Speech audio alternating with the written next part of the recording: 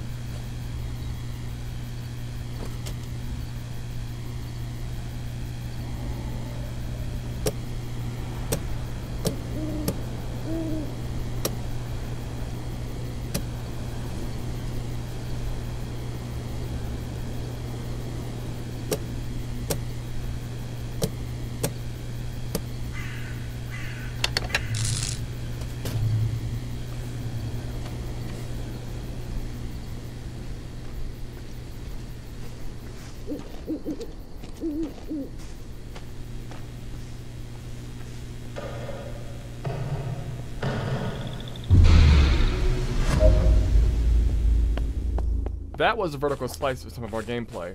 Now we're going to show you a condensed version of how the rest of the match plays out.